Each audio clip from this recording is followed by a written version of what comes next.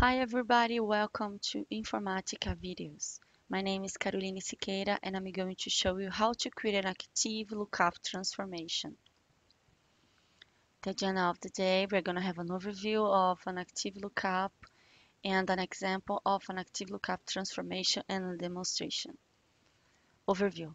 When you configure the lookup transformation to return all matching rows, the lookup transformation returns all rows that match the lookup condition. And then this lookup transformation will become an active transformation. Example, you may have a scenario where a customer has multiple orders in a table and you can configure the lookup transformation to return all the purchased orders for a customer from a lookup. Inside the lookup, it would be necessary to have a condition to compare the related tables. And so using the active lookup on table 2 to, to get all matching records for each column 2. Um, an active lookup transformation example is presented by def flag. This flag says if a lookup is active or not.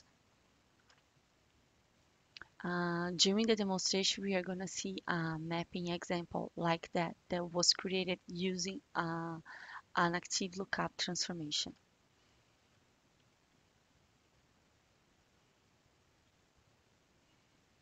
So to create a lookup transformation, uh, an active lookup transformation, go to transformation, create, select the type of transformation, which is going to be lookup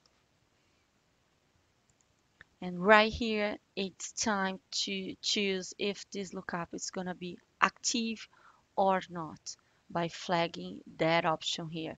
Return all values from multiple mm, match.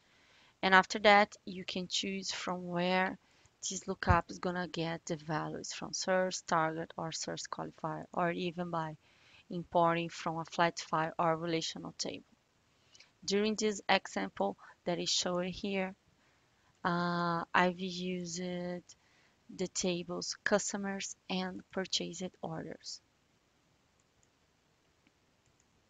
So this lookup was created based on purchased orders and the condition is to compare the customer number from the purchased order with customer number from customers table and this is going to generate a flat file as a target containing the records that will be retrieved by that transformation. In that example, I've retrieved, I'm going to retrieve just two columns, two ports, purchased order and customer name.